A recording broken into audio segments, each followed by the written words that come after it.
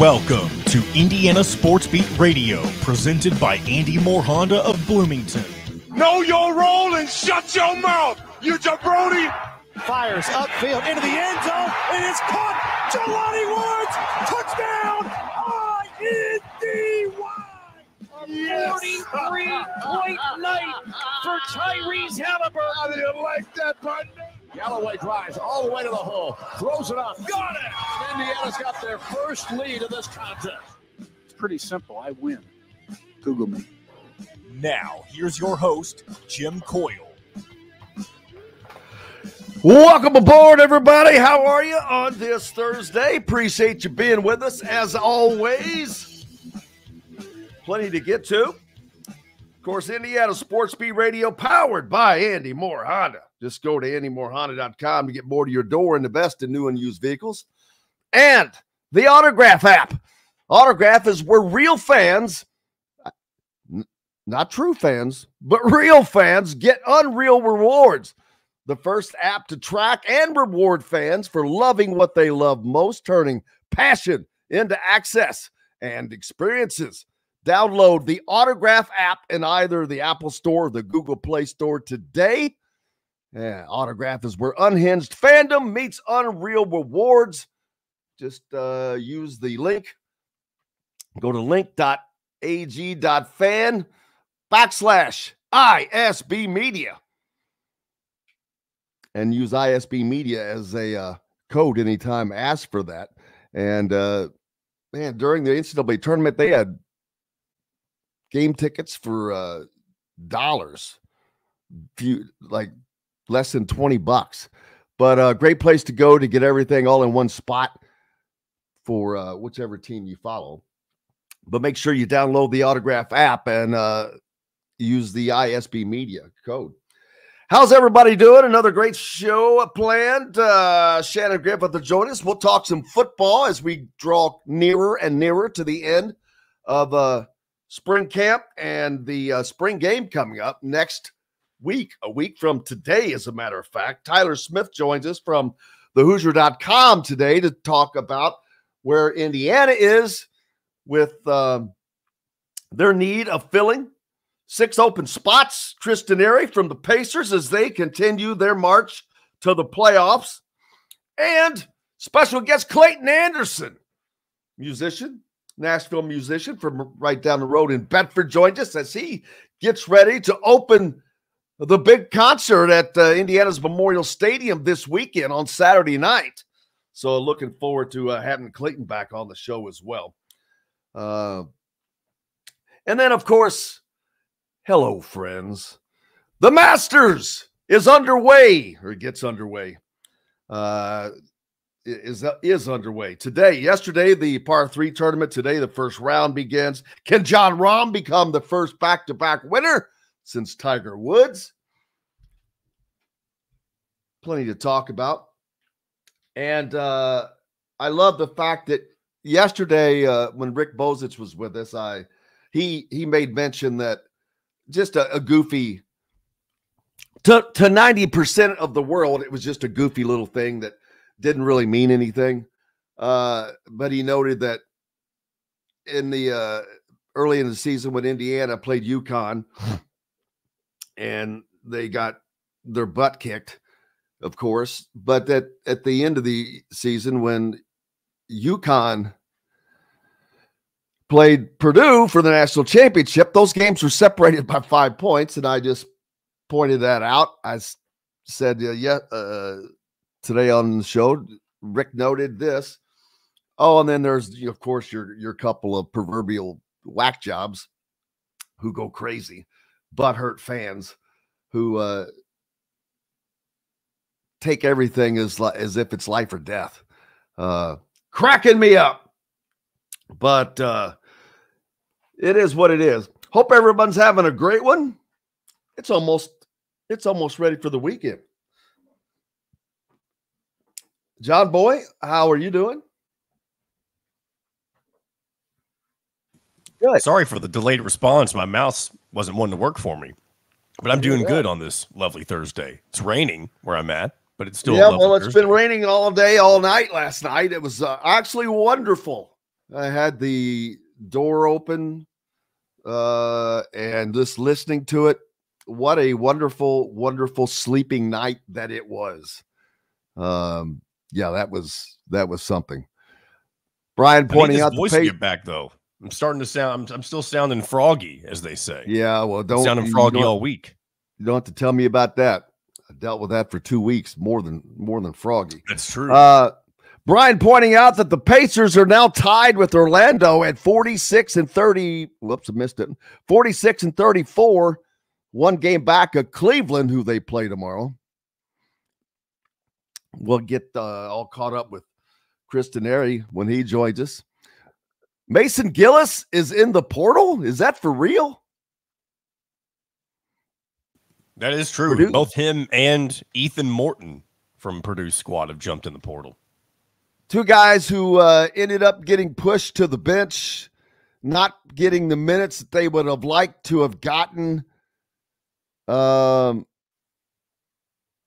understandably, but I, I don't. They're experienced players, both of those guys. So, um, very interesting, mainly because you don't see Purdue guys leaving. Not only do you not usually see Purdue guys leaving, especially both of those guys have been at Purdue. They were they both be fifth year guys?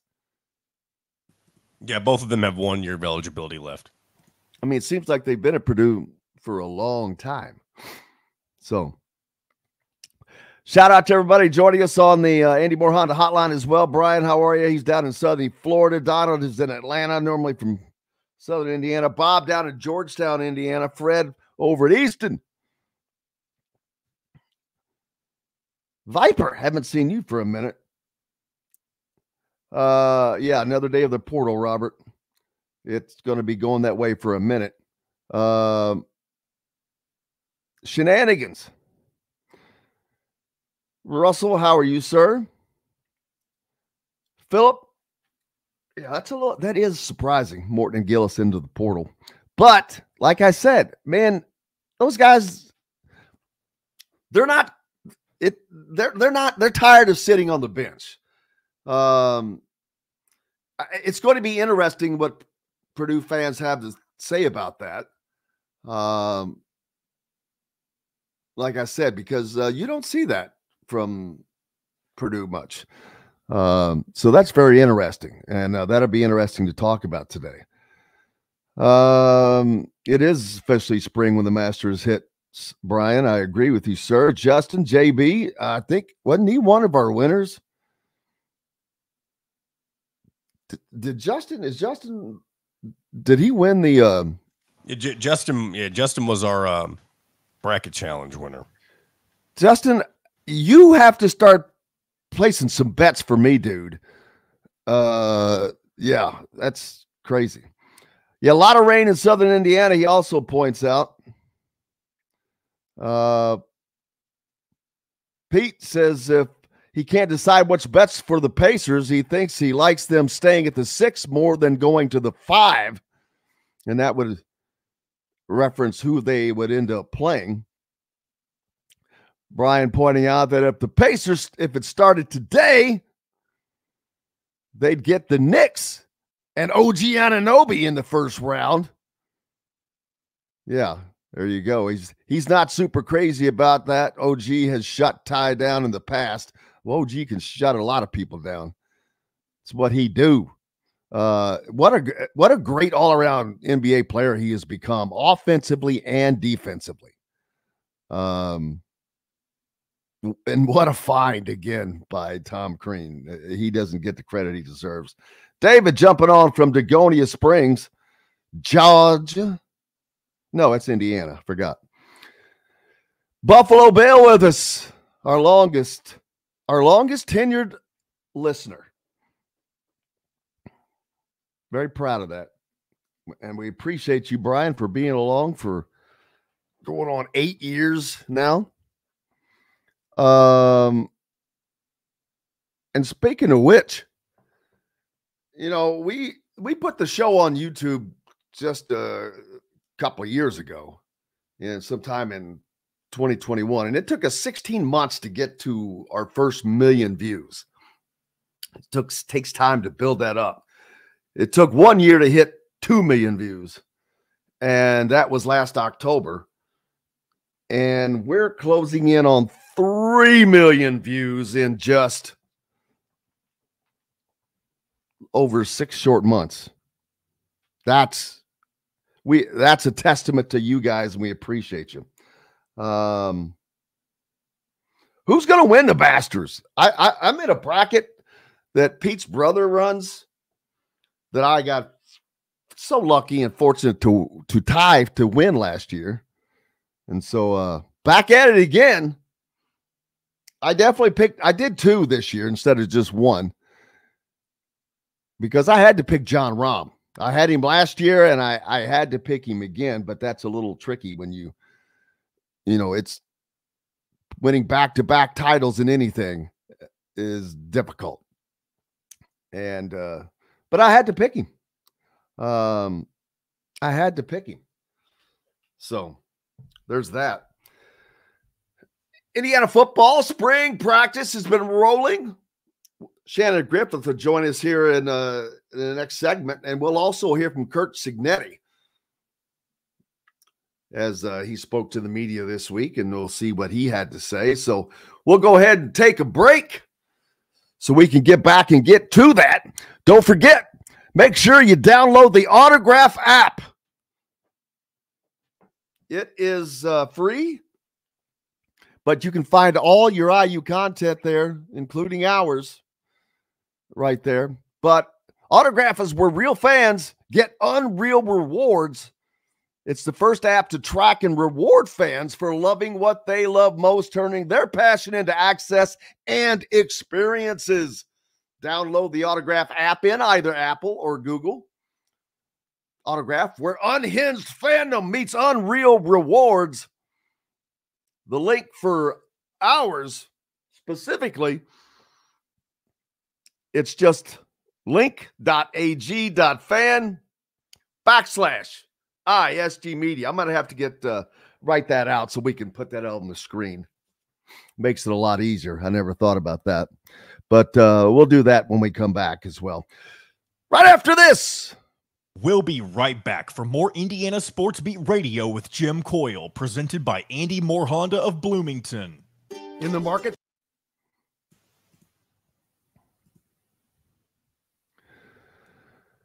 Okay. Banners. Banner, banner. I wish you could I wish the new banners added would go at the top. Is there a way to sort them? Just give you that option? I'm talking about on um I know what you're looking at, but I get you Yeah. can't sort them. I see that. no, it's it's but I just added that FYI. All right, let's see.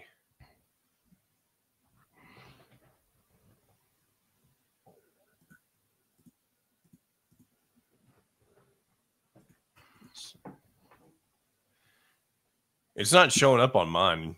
I don't know why. Maybe it'll take a second to populate.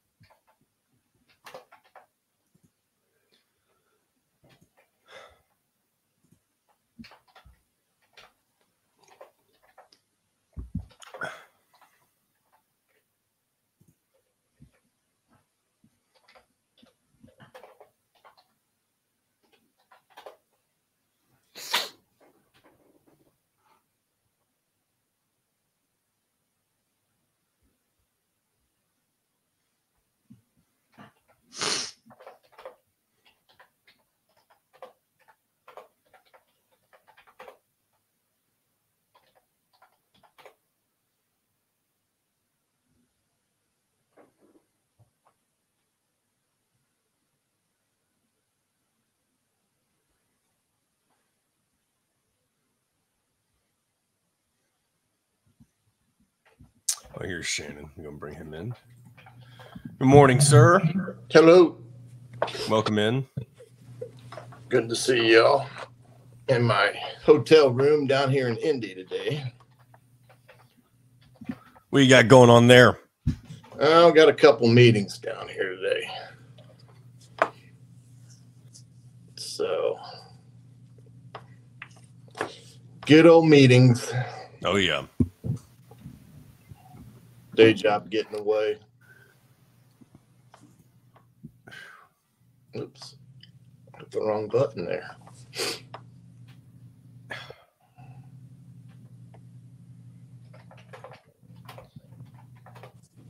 All right, here we go, guys. Grouper filet and enjoy it cooked to perfection in Chop Shop Steakhouse.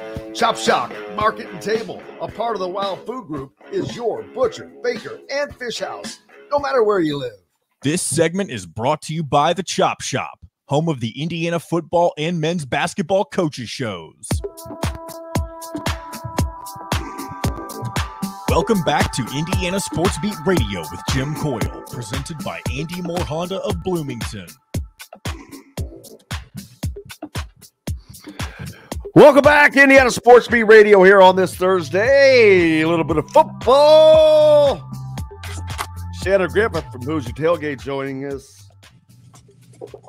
Spring ball about to wind down. The spring game coming a week from today, Shannon.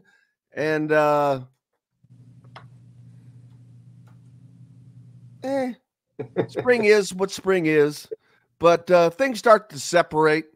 Uh the difference between for Indiana is there's not going to be all the secrecy with who's what and who's where, who's who. Well, well, you know, uh, we haven't made a decision on quarterback yet. Uh, you know, uh, well, I know it's the third game of the season, but we we still uh, we're looking at our quarterbacks. Uh, there won't be any of that. No. Um, Kurtis Rourke, who was easily, I mean, called the starter almost immediately, and that's not going to change, I don't think. Um, I think the the only question in the quarterbacks room will be who's going to end up number two, uh, and and I, I don't know the answer to that question. I don't know if Tyler Cherry can uh, usurp uh, Tayven Jackson or not, but uh, we'll see. But it's definitely a different spring than say a, a year ago for Indiana. Yeah, and you know, listening to uh Sig's presser, you know, on Tuesday after their Saturday scrimmage. Now, while he didn't divulge a lot, I do think uh you did he did tip his hand in a few areas, such as that quarterback, where he basically said that Rourke has significantly separated himself um, from the pack. Um, and I think we're seeing the same things that maybe Tayven has always hampered him is the inconsistency, where on one day he'll have a you know a significant improvement, but then the next day will be kind of a step backwards for him. And I always caution the fact that he's still a young a young player in a lot of ways. Um, but I think they they they've settled in pretty much with Rourke. Now I don't think they're going to go through the summer and say he's our starter, um, you know, outwardly, but uh, you know I don't think Tyler Cherry uh, is ready uh, in in a lot of ways right now to make any significant push to be you know that two or even number one star. Um, I think we'll have to see how the, he see how he matures through the summer into the fall camp. Um, no question, being there in the spring has been a huge benefit for him. But Rourke, um, by all accounts, I think has moved himself in a position to solidify himself as the number one guy. without without question. Uh, and it's going to be interesting to see this offense actually, Mhm. uh, Indiana, because it's it's something. The entire program is much more organized. Uh, the practice is much more organized. Uh, everything the the the direction is organized. There there is a uh, a definitive point of what has to be reached, and uh, it- it's it's going to be. I, it's going to be interesting to see what kind of a turnaround that can be made because the biggest question for me still is though a lot of players brought in but most of these players were what you would call mid-major players mm-hmm. and that is a gigantic question because I, am not saying that uh, they're not going to excel because I don't know. But that does make you wonder can there be that much success with this many guys that, you know, mixing them in is one thing, but it's been an abundance mm-hmm. of guys that have come over from what you would call the mid major level. Yeah you know, I, I, I don't necessarily get overly concerned with the mid-major players that are coming into a skill position. Let's say wide receiver, running back, in some cases secondary. Um, you do have a little bit of a question mark when you talk about offensive linemen in that regard. Um, sometimes there may be a little undersized in terms of a Big Ten caliber offensive lineman, but I think what came from JMU and some of these other programs, um, Troy, Charlotte, some of those areas, they, you know, they for the most part came from pretty solid mid-major, you know, programs. So, um, but we'll find out. Now, a lot of them, especially in that interior line, have not participated this spring because they are all recovering from a surgery from last season. Um, so we may not get an indication at this point in time where those guys stack up. However, um, I think in the offensive line right now, um, I was pleasantly su- surprised that you know Coach Cignetti felt that they've got some depth there, and it's allowed some younger kids to get more uh, quality reps evaluations that Bostad could go through, and and I think they feel that they've moved forward in that direction on the O line as it pertains to depth. Um, I do think there's a concern um, based upon just me reading into, maybe overly reading into, what Coach Cignetti said Tuesday was, I don't think in the defensive line, they're overly comfortable there with their depth. And I do think they will evaluate the portal in terms of potential um, people that can help, uh, especially on the defensive side of the ball. And I think they're a little uncertain in the secondary um, as it pertains to what they have there. However, I do feel like they feel like they have a strong linebacking crew. Um, and I was overly impressed with the Fisher kid that came before uh, the mics there last week, and uh, and how he spoke um, there at in front of the the media the last week, and how he handled himself. Now I know that's far different cry from being out on the field, but there is some translation to how a kid handles himself there until and how he handles himself on the field, and I think you saw a very rock solid kid that probably is a pretty darn good ball player that came from JMU. Yeah, oh, there's no doubt that there are great athletes. I mean, uh, football a little bit different than basketball, of course, mm-hmm. uh, but you, you, look in basketball and you see guys they come from all over. Uh, yeah, it, it, it takes you know whether it's just a year of development.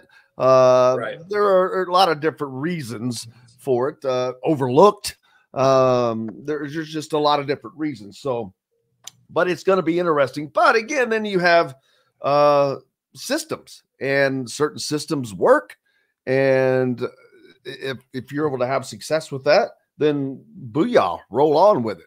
Uh, but it's going to be interesting, like I said, when you get into big boy conference play. Uh, but uh, you know, against the the lower end teams, I, I don't know that we're going to see a difference, uh, whether it's the Big Ten or whatever. So, well, you get looking, but the biggest thing now, you really don't have a measuring stick as it pertains to the Big Ten because of the the landscape is so, you know, drastically changed now with these other teams coming in. So you're kind of in that era of, you know, how does everyone truly stack up with everyone that's coming in, you know, outside of the, you know, the top tier programs like Ohio State, Michigan, Penn State. But the rest of them, I'm not quite sure how they all stack up, you know, as it pertains to what one has or doesn't have. But, you know, we're going to find out relatively quickly. But ha- like we've said before, having those eight home games, huge, huge advantage for Indiana. Absolutely. Uh, oh, yeah, big time. Uh, not only that, I've talked about, and it's it's it's kind of, I don't know, it's, it, it's funny to make for me to be making this analysis, but the fact that there are so many teams that have a new coach, but Indiana is one of them. Yeah. But Indiana seems to be, uh, I don't know, less impacted or better impacted than most. Usually there's a step back, but I think for Indiana, it's going to be an instant step forward. That is a rare thing to see when you change coaches to have an immediate step forward, but I think that's going to be the case for the Hoosiers.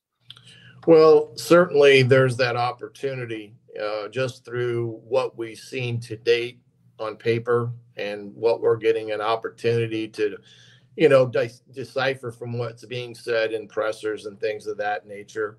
We'll get an opportunity to see on the field Thursday evening, you know, what is there. Not that it's going to be overly uh, informative in terms of what they're going to do offensive and defensively, because it's going to be very, probably a very vanilla spring game in that regard as it pertains to what they do on both sides of the ball. But I do think that um, I thought some poignant co- uh, comments that Cignetti has had at the podium, talking about the wide receiver room. You know, the four transfers that have come in have been really dynamite in his eyes in terms of what they've been able to display.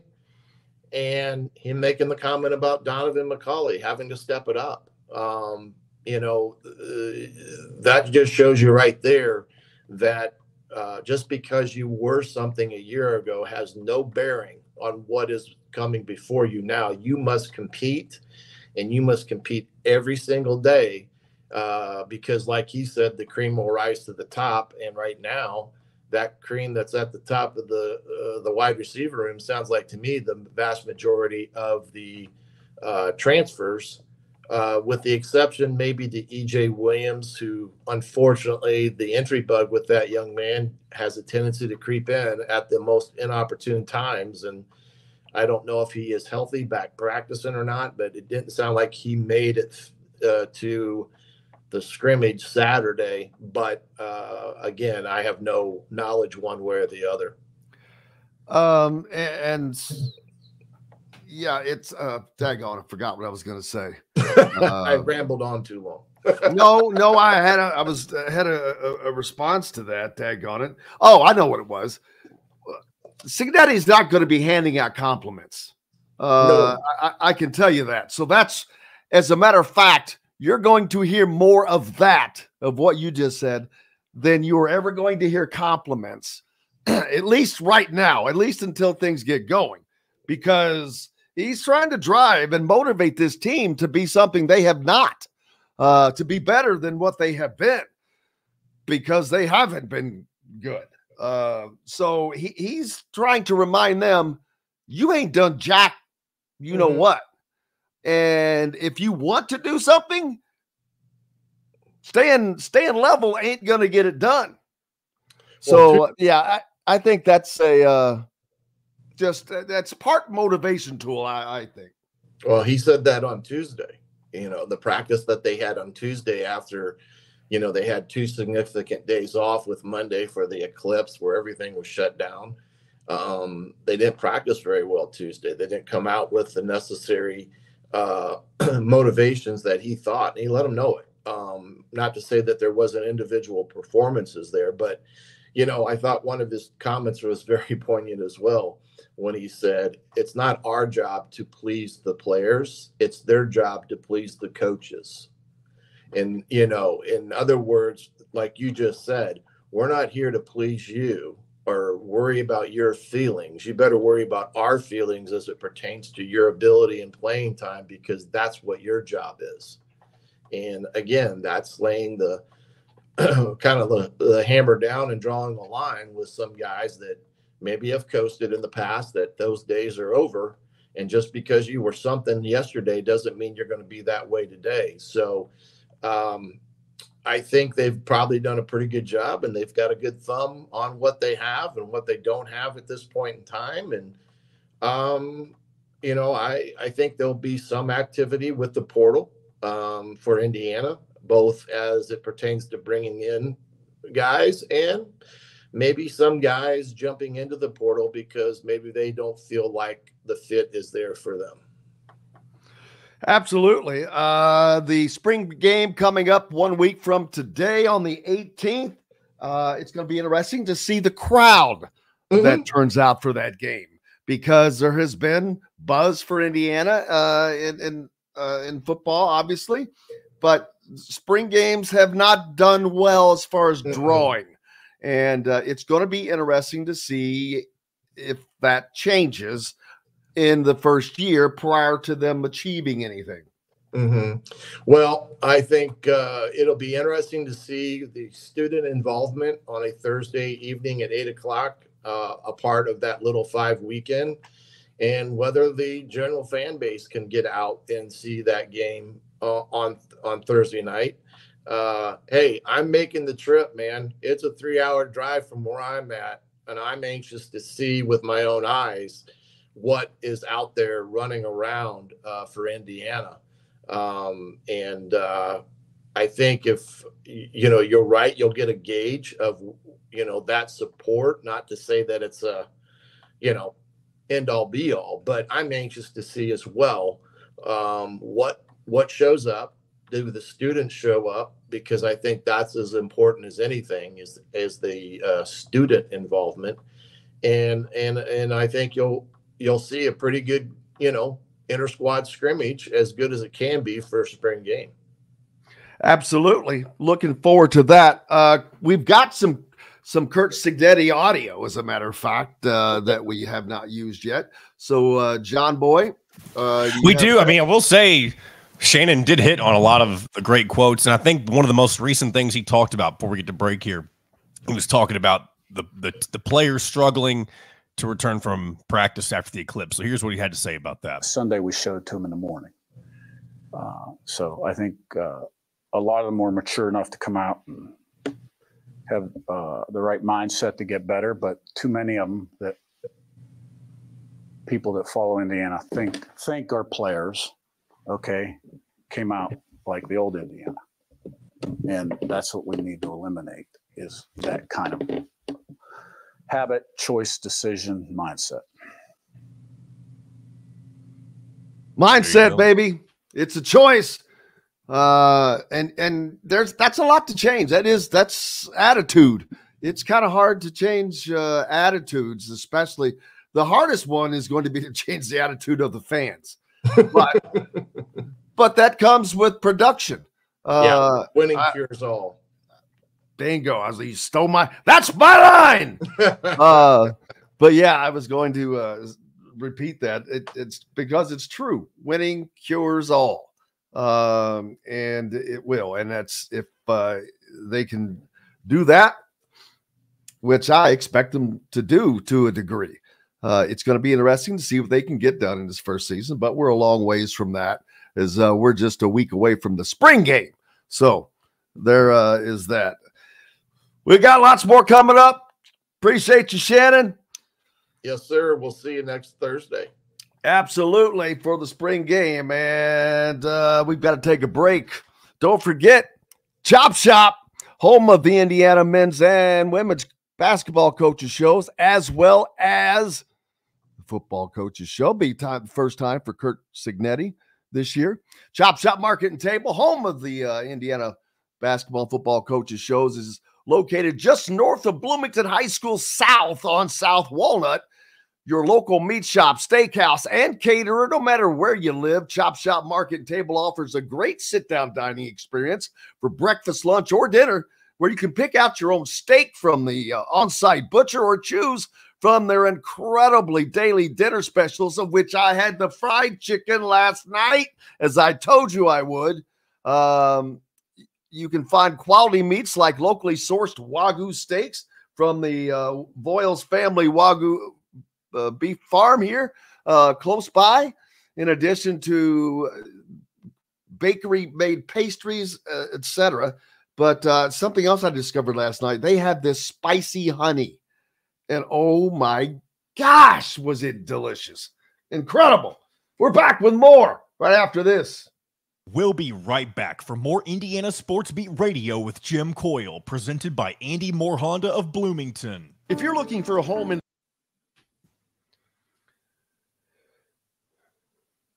All right, I'll be right back.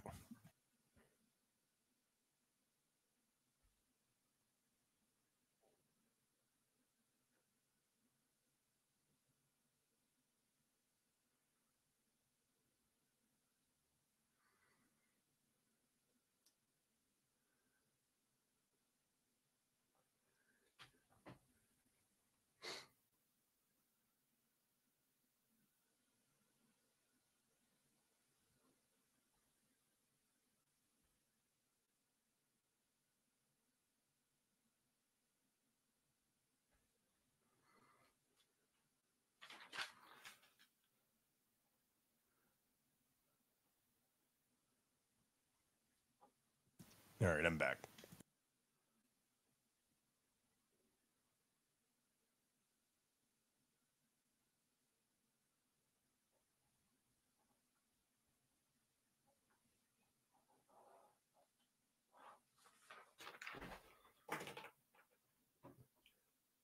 Alrighty then.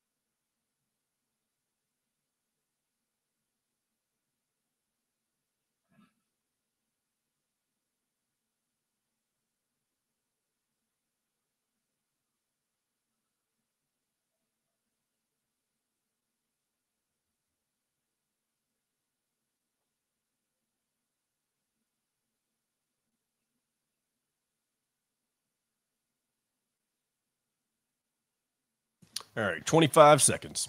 New Honda with no payments for 90 days. That's right, 2023 and 2024 Honda Pilots, HRVs, CRVs, Honda Ridgelines, payment free for 90 days. Or get 0.9% APR financing for 36 months on a 2023 Honda Ridgeline.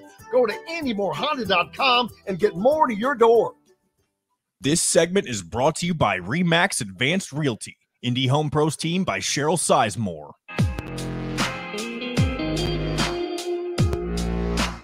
Welcome back to Indiana Sports Beat Radio with Jim Coyle, presented by Andy Mohr Honda of Bloomington.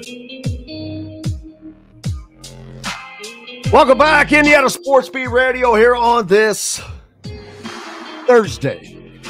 Brought to you by our good friend Cheryl Sizemore and Remax Realty. Make sure for those of you in the market for a home in the Indianapolis area, reach out to Cheryl and her two decades of experience. It could be the difference between getting the home you want or not. Reach out to her, Cheryl at home, indiehomepros.com. Uh, we are in the, the transfer portal season, all kinds of seasons. Um, football still visit, getting visitors as well. Don't forget that. Uh, Ryan Conwell, the basketball side, he has got to be a, a a leading target for Indiana. The transfer from Indiana State. He's got so many, he checks a lot of boxes. First and foremost, his stat line is pretty damn good. Shot 40% from three. He's got, got two year eligibility left. He's from Indiana. Uh, it, it just that that would be that would answer that would be a good one for Indiana fans. It would give them a someone to cheer from from from the state. But he's he's legit. Man, legit. 16 and a half points a game, almost 6 rebounds a game. A steal, just less than 2 turnovers in 34 minutes a game. He doesn't sit. 40.7% three point shooting. And that was averaged on seven attempts per game. So that's not a, a, small sample size. He's not chucking up one or two, he's getting it up there. He shot 60%, 61 actually, from from field goal range overall. And he's an 85% free throw shooter. He checks the boxes.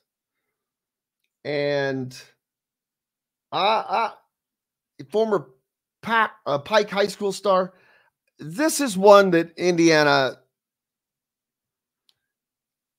needs to land. 2022 Indiana All-Star. This is this is a guy that got away from Indiana to begin with. That they did not see the value in. But now they can make up for that. And we'll see how that turns out. But I would be uh, that that's got to be one that's high on the list. Uh, when I look at his numbers and I look at all all the boxes, like I just said,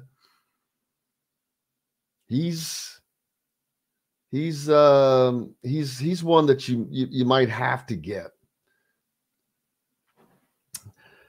What of uh, the the entire team of Indiana State that uh, entered the transfer portal for the Sycamores, unfortunately. Um, their loss. It's it's sad to see that, I'll be honest with you, but it is what it is, and it's the new state of things in today's college basketball landscape, college athletics landscape, period. Um, the visits start to come for Indiana basketball as they have cast their net in the portal.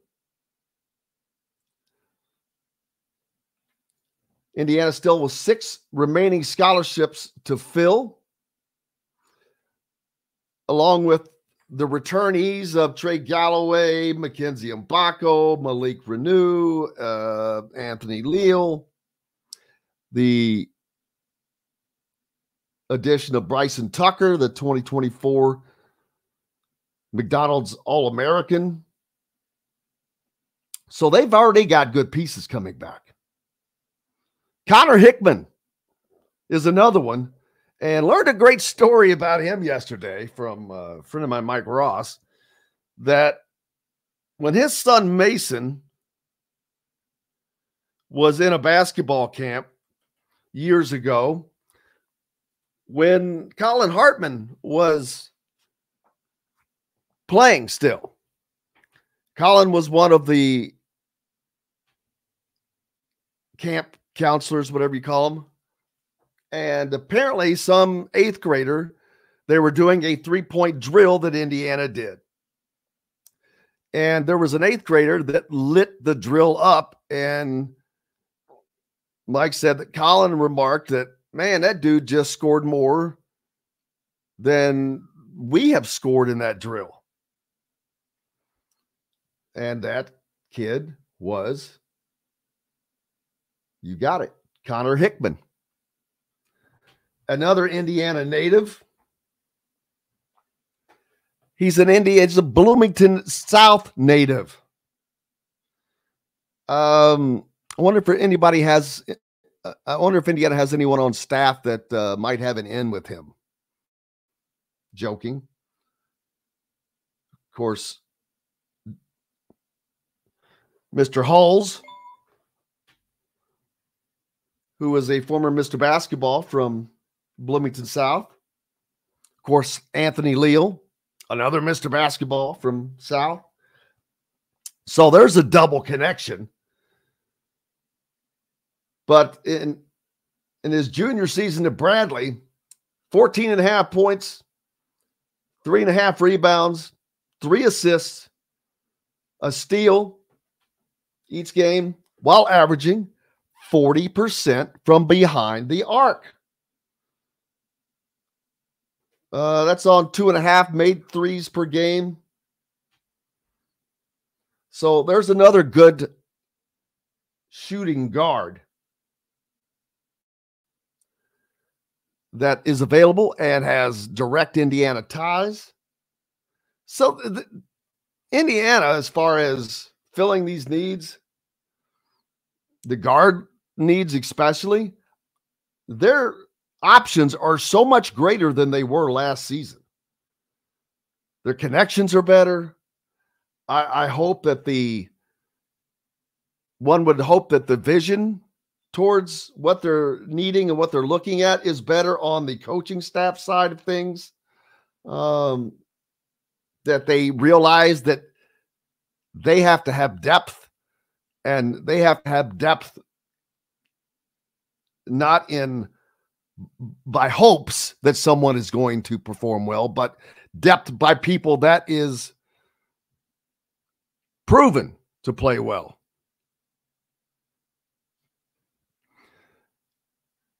Creek Walker back. Haven't seen him for a while, but uh, J.R. Holmes Pipeline, yeah, all time leading coach in the state of Indiana. There have been plenty out of there. But there's other guys.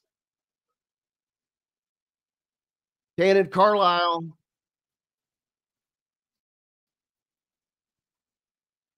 And uh trying to get there we go.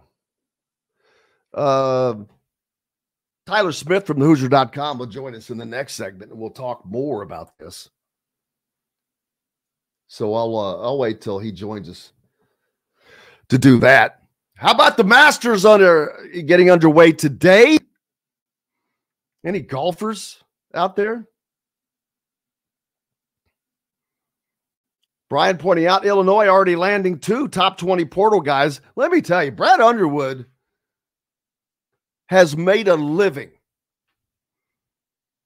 of successfully mining the portal and rebuilding his team, not like Danny Hurley has, but Illinois has been consistent in the Big Ten as being a challenger, man. They have been consistently good. Not great, but really good. Right there. You know, Purdue is an anomaly because Zach Edey is an anomaly. That anomaly is gone. And I, I think I said it. Well, I know I said it. I can't remember when it was a while back, but I, uh, who who's the team next year in the Big Ten? We, we're not going to know. We're not going to know even when these teams are filled out.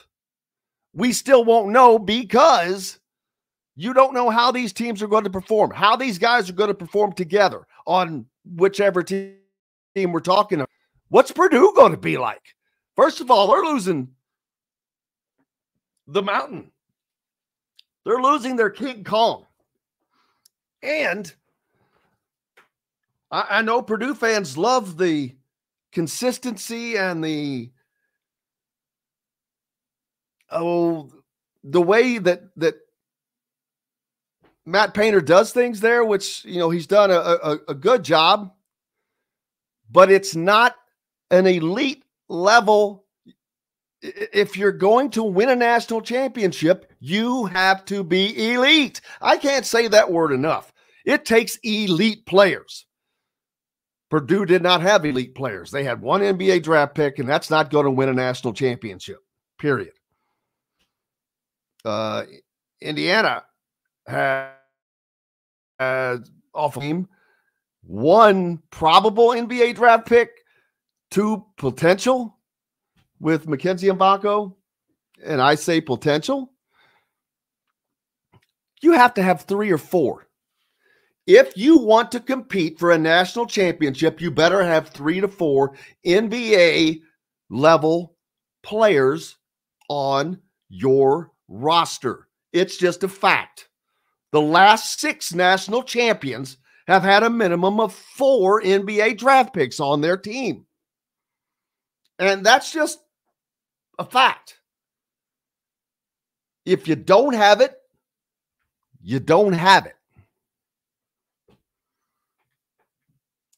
So, it, I, I, I hate to. Uh, Trey Galloway, for example, would be a great off of the bench guy. You're you're not going to lose a ton. You're not going to lose much for him to come in and spell some guys for some minutes. But if he's playing the kind of minutes that he played last year,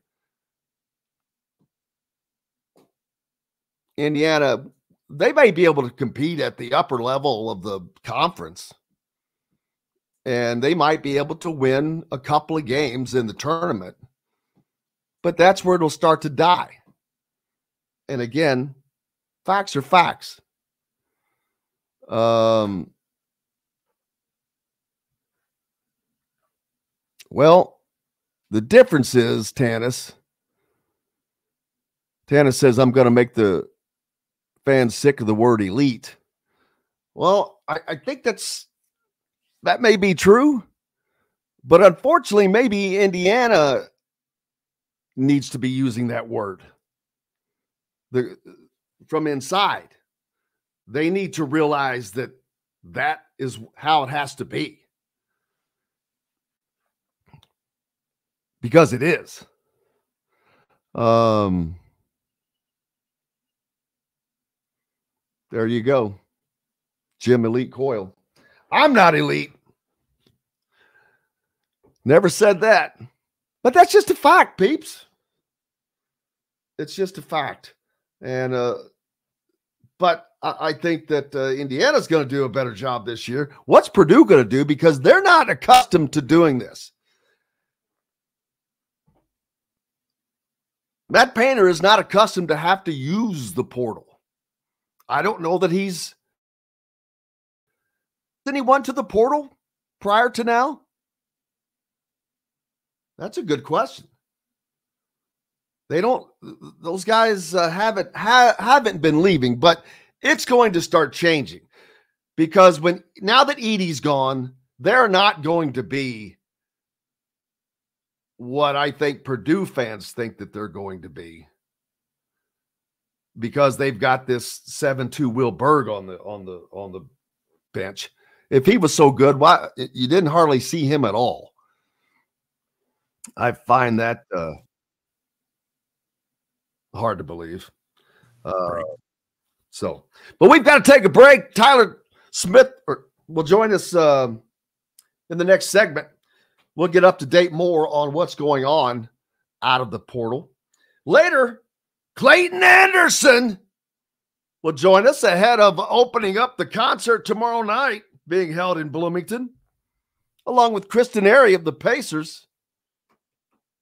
We're back with more Indiana Sports Beat Radio right after this. We'll be right back for more Indiana Sports Beat Radio with Jim Coyle, presented by Andy Mohr Honda of Bloomington. In the mark.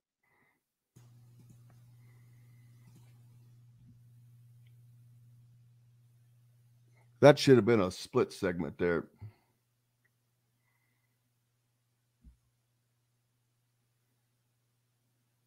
There you go. I definitely get them started, boy. You should see the Twitter going right now. Those couple of Purdue fans are all jacked up. Yeah, it is Saturday night. It's all right. We'll straighten that out.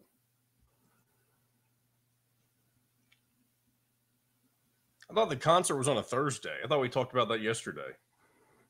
No, the concert is Saturday night. Third. Or we said no. I don't know why I said Thursday. We said the thirteenth. That is a Saturday.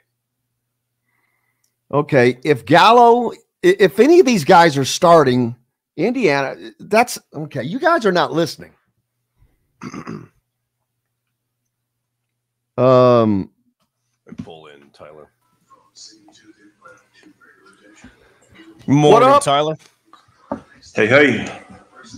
you got the uh the list of all the new guys that are coming and visiting and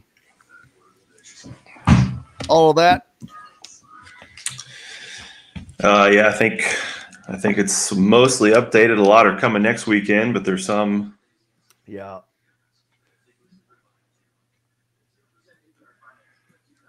About to get crazy. Well, I think that all of the names that they're looking at, I, I think they're done looking at names unless something jumps because it's time to start. They've they've created their shopping list and now it's time to go shopping. There you go. How about that? Yeah, it's just a matter of the Kentucky and Arkansas stuff. If if there's anybody else that pops, but other than that, Nah, that's uh I, I don't know how that would even really affect it anymore now. Hell, Con there's nobody better than Conwell that I that is out there. yeah, I mean, I'm not gonna say he's the best, but he's he's gotta be he's he's up there, man. yeah, I think a backcourt of Rice and Conwell has got to be. I mean, throw throw the bag at those guys. All right, here we go, guys. Stonecrest Signature Series house plans. We have several lots available with scenic views of the golf course. Contact Amy Rhoda with Rebesco Real Estate for additional information. 812-583-0919 or go to mystonecrestliving.com. That's mystonecrestliving.com for more details. This segment is brought to you by Hoosier Hanks East.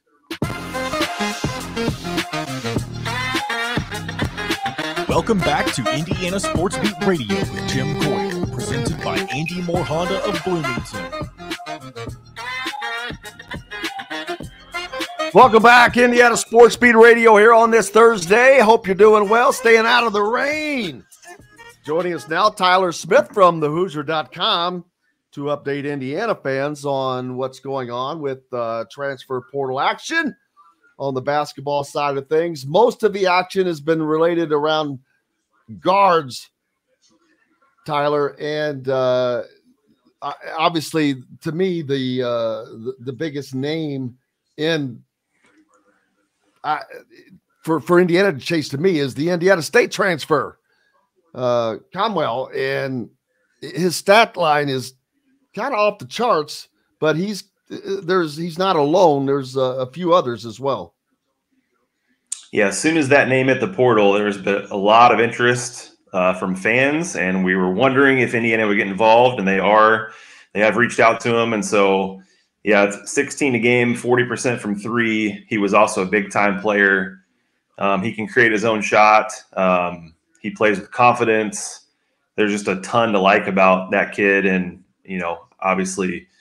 Indiana's trying to, to lock up multiple guys. So I think right now, um, Rice and Conwell are uh, two of the guys to really keep an eye on. Um, if Indiana can lock up a couple guys here in the next couple weeks, um, you know, things can start to change in, in terms of, uh, you know, the outlook of this team. And they still got a lot of work to do, but there is uh, a lot of irons in the fire, as they say.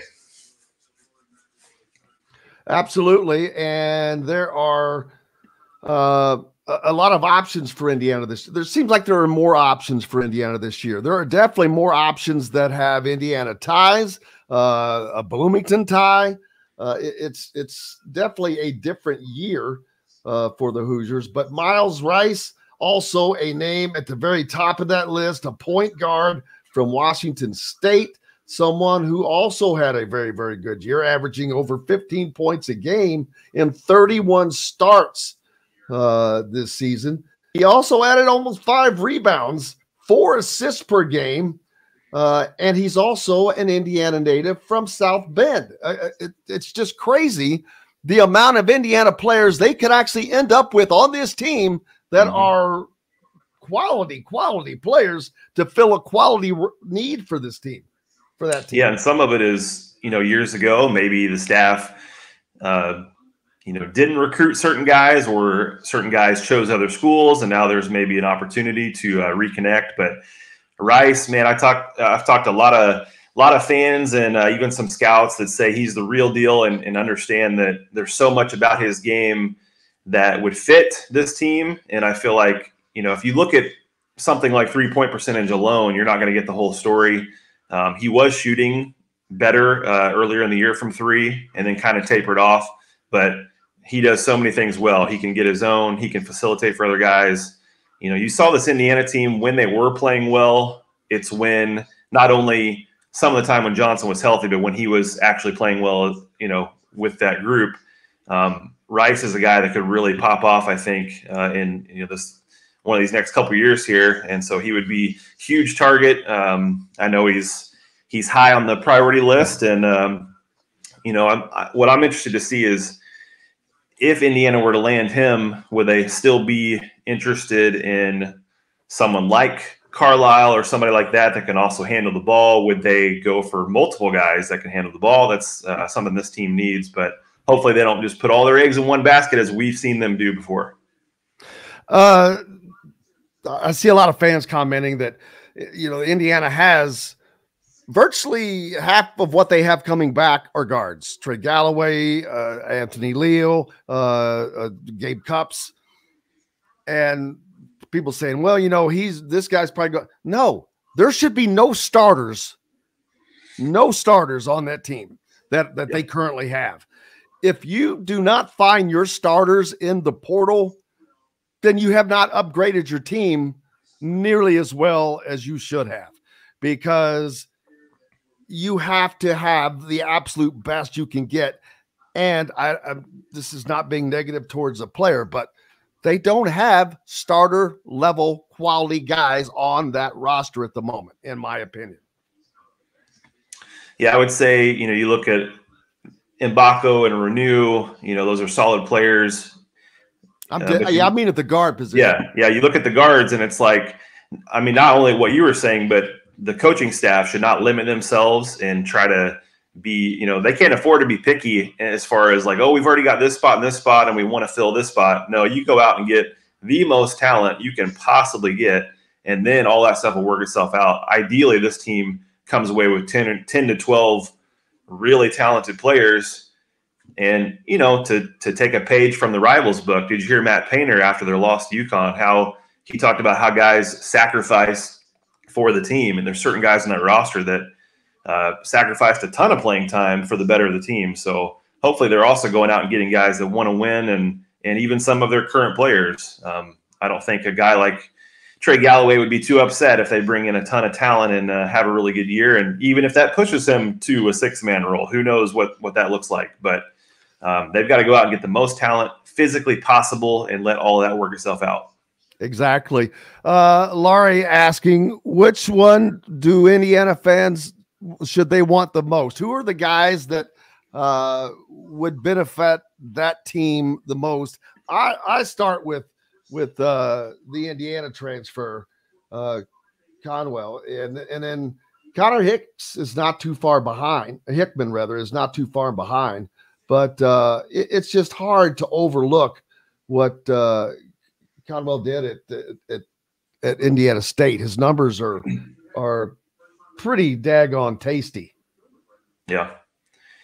Yeah, for me, I, I, think it's probably might be even a tie between Rice and Conwell.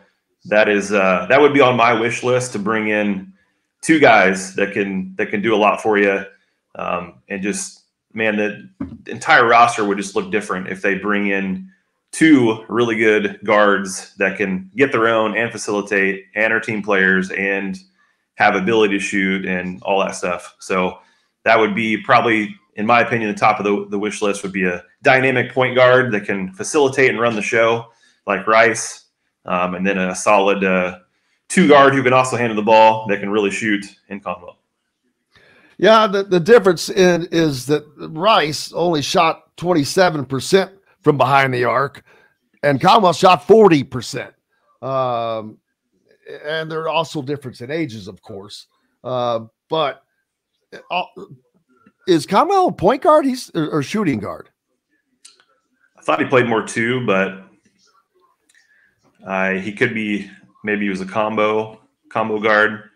Um, I've seen basically a lot of people I've talked to said there's an opportunity for both for them to get both, and I feel like if they were to get both, that Rice would be the one, Conwell the two. But of course, once you're uh, on the fast break, it doesn't really matter so much when you're trying to push the ball. But as far as the half court, I think Rice would be more of the one. But you know, we'll we'll see what happens there. I think Conwell can do both. Hickman is another one I think that they, if they could get, they need to land uh, a Bloomington, Indiana native from Bloomington South High School, but his numbers again 14 and a half points a game, three assists a game, 47% from the field, and over 40% from behind the arc, six attempts per game. Uh, that's those numbers are pretty good. And uh, there's just he, he, just checks a lot of boxes, and I, I think that that with three spots left, do you take three guards um, I don't care what they currently have on the bench, to be honest with you, because none of those guys can do what these guys can do. And so I, I, I kind of ignore that, to be honest with you. You've got three spots. Um, I, am bringing in three guys that can shoot the hell out of the ball. Uh, I they don't have to be. You may you may need one good point guard um, but then you're kind of in the same boat that you were not necessarily the same boat you were last year with the advancement of Trey being able to play it as a backup if he has to. But uh, with Xavier getting hurt last year, Indiana found itself in a bad, bad position that you do not want to find yourself in again. Um, Indiana has Mackenzie Mgbako on a wing. You've got the Bryson Tucker, who is more than likely going to play kind of a wingish type player. Uh, and now the question also is with Malik Reneau, is he going? Can he play the five successfully? Will he play the five? If not, is Woodson back to running two bigs? Yeah, that's the big question. And, and some of the guys that they're looking at, uh, you know, from I think you know one of them's coming uh, this weekend, Payne, and then you got uh, Williams who is coming next weekend. You know those guys, I feel like, and also uh, a guy that I've been uh, talking to uh, this week, uh, Elijah Malone, who is a who is the NAIA Player of the Year, and he's got he's scheduling a visit with Indiana coming up here soon. So we got some exclusive news there that that they're scheduling something, and he's a six ten guy that can uh, can shoot the three and human highlight reel and does a lot of good things. But I feel like in the case of all three of those guys, you know, they they would probably be willing to come off the bench because they know they're going to play a lot of minutes as well. If Woodson chooses to go with Reneau at the five, I think offensively that's the way to go. Reneau at the five and Mgbako at the four, fill in with three dynamic guards. Uh, but obviously, with Reneau's occasional foul trouble, maybe more than occasional, um, and then the you know rebounding and pr- protecting the rim issues that may come defensively from that. They got to have a couple big bodies that are willing, uh, whether they start or come off the bench. So all three of those names are pretty intriguing. Yeah, Indiana's leading scorers, two top two leading scorers, cannot be their big men. That just doesn't work. The numbers bear it out uh, you have got to be a much more offensively dynamic team. Indiana is going to have to be a much more offensively dynamic team than they were last year, and that does not come with Malik Reneau and another quote unquote big man running at it, trading back and forth, being the the the leader of the game and scoring. Mm-hmm. That that's why Indiana was not successful. You've got to be beating guys on the perimeter, man.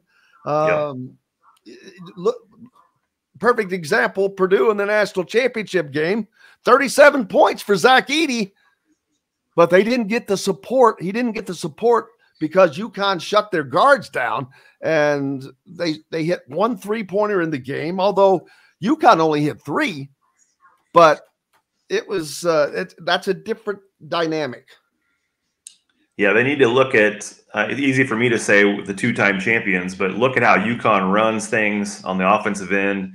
They play through their five quite a bit, but he's in the high post, and they've got zoom action, Spain action, dribble drive action, two-man game. They run through him from the from the high post, um, and he gets plenty of touches. But it's not just hey, back your guy down and and you know go to work on every single possession. There's a time and place for that and I think Reneau is is really good at that, and they're going to utilize that. But got to play with three or oftentimes four wing players that can get their own and create for each other.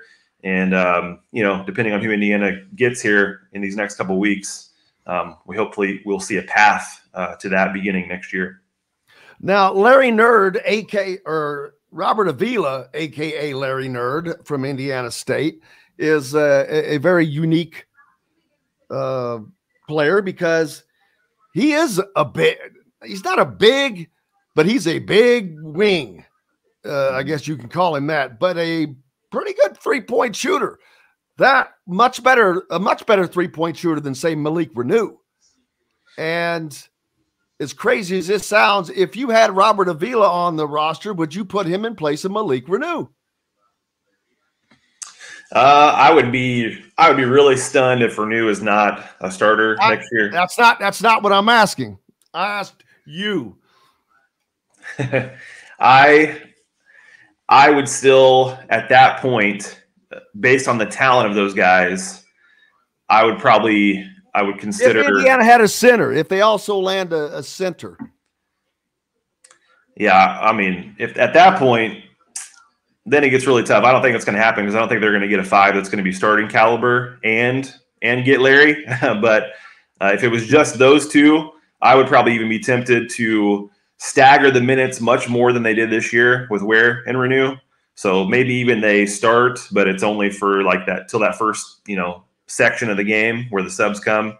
You leave one of them in, then you stagger, and then you're trying to figure it out. So uh, again, I'll be surprised if any of that happens, but yeah, I, while uh, Avila has hit the portal, he did so with a no contact tag, meaning coaches are not allowed to reach out to him. He'll he'll reach out to you. Don't it's a don't call me, we'll call you kind of a thing. Hmm. Uh, so that'll be interesting. Uh, but the big visits are coming next weekend for Indiana. Who all is coming in uh, then?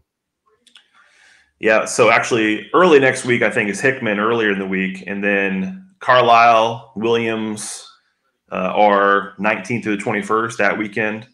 Um, so I know those for sure. There's a couple that are uh, waiting on. Uh, I don't know if it's been set and just hasn't been reported yet. Um, but there's several other names who are who are looking. We, you know, certain guys who know who know the campus and uh, like the back of their hand. We're not sure if they're going to actually make a visit or not. And same thing with Malone. I'm not sure if that's going to be an in visit or on campus uh, visit, but uh, Carlyle will be uh, very interesting. I don't know if, if uh, fans saw this when Myles Rice shared one of his photos. It was when he was playing Carlyle, and the two of them were about to check in a game. So some fans were like, "Is that speculating that he wants to play with Carlyle, or was it just like kind of a random photo?" That was like a week ago or so, and of course, that could also mean they they're going to go somewhere else together. But obviously, IU fans look at that and they're thinking, "Man, a backcourt of, of two guys that can handle the ball and get to the rim." You know, maybe they're friends and maybe that's what that meant, but we'll have to see. So yeah, next weekend is a big one. What's Malone's first name? Elijah. Call him Elijah Post Malone. There you go. Ba-dum-ba. Tyler Smith from the thehoosier.com. Go there for a complete and updated list of uh, visits, people that they Indiana's talking to, all kinds of information on each and every one of the players Thank you, sir. We appreciate you. Thank you. You betcha. We've got more coming up here on Indiana Sports Beat Radio, including Chris Denari from the Pacers. Get you caught up there, and Clayton Anderson, who will be opening up the uh, the big concert for uh, Kane Brown this weekend. That's Saturday night, going on at uh, the Full Ride Tour, I believe that is, with uh, Kane Brown and Jon Pardi and et al. We're back with more. Brought to you by Hoosier Hanks East, located over off of College Mall Road. Great place to go catch the games, sit down and have a great meal, whether it's custom made pizzas, wings, mac bowls. They've got it all, including Jim's starting five, baby. The best thin crust pizza around. I guarantee it. Back with more right after this. We'll be right back for more Indiana Sports Beat Radio with Jim Coyle, presented by Andy Mohr Honda of Bloomington. Formerly. All right. Look at that. Both right on time. Right here. Chris, Chris, may I introduce you to Clayton Anderson? You're a Hello country fan. Christian. No introduction needed. How I you thought doing, that you might like that. I'm good. I'm real good. Been uh, been trying to stay out of trouble. Been running around. Sometimes like a chicken with my head cut off, but uh, it's been awfully fun watching the Pacers this year. It has been. It has been a lot of fun. Always enjoy listening to your stuff. Got plenty of it on my phone. Oh, I appreciate it. It's Hey, uh, speaking of which, real quick, Clayton, if I if I bring us back to one of your songs, will we get flagged on YouTube? Yep. Yeah, I already thought about that. Yep. Yeah, it stinks. I can't control it. It's all computer. I was Okay. thinking about that yesterday. I was like, I might have the guy on that sings this song, but we can't play the damn song. No, I re- I remember Pat McAfee called, texted me one morning. He's like, "Can I play your song?" I'm like, "Yeah, of course. I mean, why not? Like I, that, I would beg you to play." And then it flagged his show, and then he got really mad at me. And his, and then not, but uh, yeah, he. I was like, I I can't control it. it. It's like a, it's so frustrating too because it the, uh, the YouTube is such a great place to uh, showcase and and and have. I mean, that's where I watch everything, and it would be great to be able to get some music exposure. And we've talked about doing a couple other shows where, but it's it's dang near impossible. You have to set it up like five different ways, and then you it's it's really difficult. But I get what they're doing, but it just kind of makes it tough when you're trying to break and get some exposure. Yeah. it's for your benefit, Clayton. That's right. Ah, well, We gotta. I mean, de- de- depending on some on some I, cases. I hear you. I hear you. I was ki- I was actually kidding. Man, tickets are only twenty bucks, man. Yeah, they they drop they uh if you if you wanted to see a great show, I mean it's a it's you can't find no better deal than that. I don't even know. You can't even buy anything for twenty dollars. I bought a couple packs of Snickers the other day and it's twenty five dollars, so that's pretty cheap. I guarantee you. That's you couldn't get two uh two uh meal deals at uh McDonald's for that. No, it's uh, Well, I spent more than that. I spent more than that at Taco Bell the other night. I I'm pumped. I saw the stage. I was down there doing some sorority visits, trying to get them fired I fired bet up. you were. on the stage. It was uh, it was unbelievable. It, it's huge. It's one of the biggest stage. It's a, it'll be the biggest stage I've ever been on. It was bigger than the 500 stage when we played it. So it was. Uh, Wow. I'm All right, excited. Ten seconds, John- I guys. mean, Here we go. I love Jon Pardi. 23 Honda Ridgeline. Go to AndyMohrHonda.com and get more to your door. This segment is brought to you by Reynolds Family Dentistry in Sellersburg. Welcome back to Indiana Sports Beat Radio with Jim Coyle, presented by Andy Mohr Honda of Bloomington. Hey, welcome back. Indiana Sports Beat Radio coming to you here on this Thursday. Thank you so much. Brought to you by our good friends down in Southern Indiana Sellersburg. If you're down that way, Dr. J and Reynolds Family Dentistry. You need to keep up with that championship smile. Go see him. He'll take care of you. Uh, speaking of championship smiles, Clayton Anderson joining us now, along with our good friend Chris Denari from the Pacers. Clayton uh, performing this weekend in Bloomington at the full ride tour kicking it off at uh, with with opening up for Kane Brown and Jon Pardi and uh, Jesse Murph, as uh, well as he's a big Pacers fan, big sports fan all the way around. Last time, well, not the last time I saw him, but uh, ran into him last year up in New York. He was sitting in the booth right next door, and I didn't even know it. Uh, but got to have some fun with him then. But uh, Chris, big country fan as well. Oh, yeah. And uh, so great to have you both on. Yeah, I've got. I was just scrolling here through my uh, iTunes. Uh, let's see, Clayton. I think I've got like forty or fifty songs from Clayton Anderson. Uh, he's wonderful. Uh, uh, you know, I've run into Clayton backstage at some things, and uh, he's a huge, huge basketball fan. And when you grow up in Indiana, you got to be a basketball fan. Um, and so, Clayton, it's great to share uh, the stage with you here. Can't wait to. I mean, that, that you were just saying off air about the stage uh, at Memorial Stadium, how big it is, and, and what kind of show it's going to be this weekend with Kane Brown and Jon Pardi. It's monstrous. It's it is it will be by far the biggest stage I've been on. It's it's bigger than the Indy 500 stage that we got to play on with Zac Brown and uh, and uh, and with uh, Keith Urban. But it it was honestly it gave me cold chills. I mean, I'm a Hoosier through and through. Uh, but when I, I snuck in, I, I don't I legally snuck into Memorial Stadium and and kind of came up the tunnel and to see it, it was it was really really crazy. I've been I've been begging for him to do a big show like this for a long time, and uh, it hasn't happened since 1986. John Mellencamp playing it. So I was there, baby. I was there.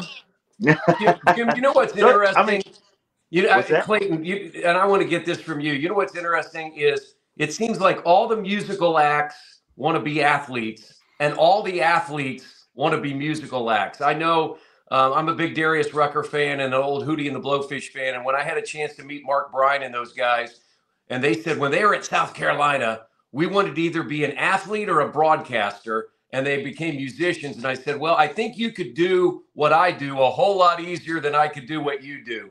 But Clayton, to that point, I mean, what you do, it's like an athlete. I mean, you're an entertainer. You got to put in the time, um, and you're a performer, and you got to be on each and every night, don't you? Abs- absolutely. I think I take a lot of my drive from uh, playing sports. You know, in in high school it was everything. You we, we you practiced nonstop, and and I've taken that and and even when I was in college, it's like it, it you know it it's just it's just it's just what it's just what drives you and, and i always dreamed of playing basketball i dreamed of getting to play at iu i dreamed of so so this to me is like the next best thing to be out on on a field like that to last year when i got to sing my song indiana at the girls basketball game which was i mean i was getting choked up. It was it was actually kind of hard to finish it. I mean assembly hall was packed. So so those are things that that i dreamed of as a kid getting to getting to play at iu or and uh and so music is just that next thing. But it is it is really cool the camaraderie between the athletes and the and and the artists because it, it is true. We want to be each other a lot of times Well, we get to do that. It's going to be awesome. To uh, it's amazing to me that there has not been a concert at Memorial Stadium since that Mellencamp concert. Uh, all that those that almost forty years ago. Come on, yeah thirty-eight years ago. Yeah, why?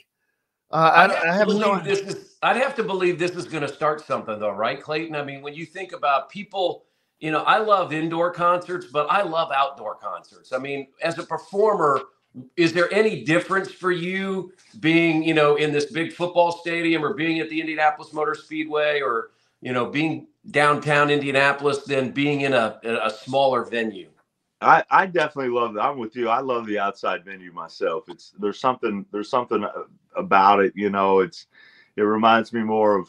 I get more fired up because I feel like I'm tailgating for a football game, or I'm I'm outside fired up. We can you can go out and party in the parking lot and then roll in, and it's just it's just got a different atmosphere. It's got a different smell. Like all your senses go together, you know. And, when you're when you're outside and, when you're with a group of people, music I think is so powerful anyway um, I think it really brings us together. And, and inside just feels, I don't know, it just feels a little more staged. Outside, I, I love rolling outside anytime, Un- unless unless the weather's bad. But we're going to be great tomorrow. Thank or on Saturday. Thank goodness it's raining like crazy now. I'm I'm over it.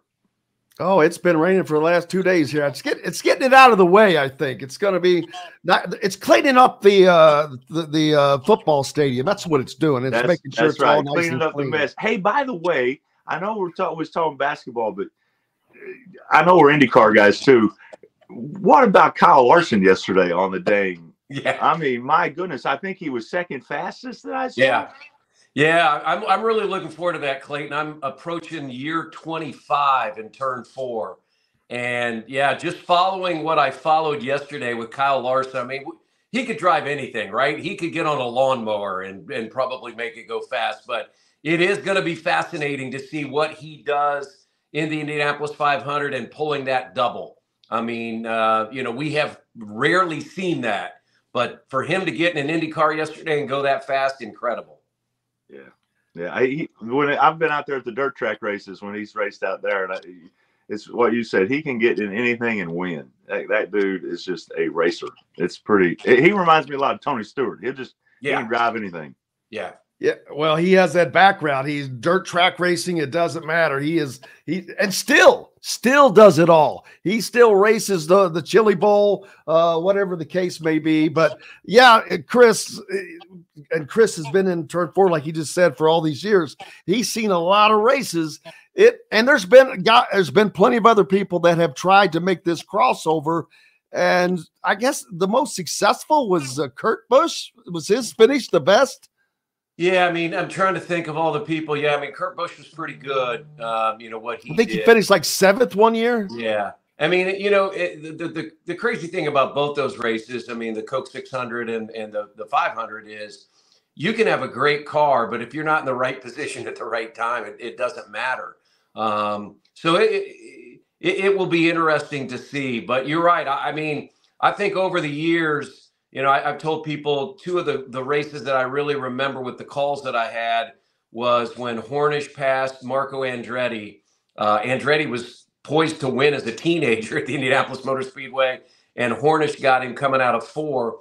And then J- Clayton, remember J.R. Hildebrand? I mean, he is Oh, leading. He is leading the Indianapolis 500, and all he has to do is make that final turn, and he goes Don't wreck. Don't wreck. Don't wreck. Yeah, I mean, incredible. Erect. Yeah. Uh, yeah, that's wild. Uh, we've got to talk a little Pacers while we have you here. They're Yeah. uh, they're they're maintaining their uh, spot at that number six spot and kind of making a little bit run. They they won again here uh, and most recently a game. They beat the uh, the Raptors handily 140-123.